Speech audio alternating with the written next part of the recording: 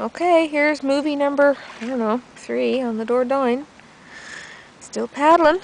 And uh, we have now reached the village of Beynac, our village.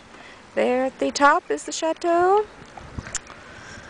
And our house is, uh, hmm, you can't quite see it from here, but it is very close. Our road you can see from here that we drive up. Rest assured, our house is tucked in amongst the vista of Beynac.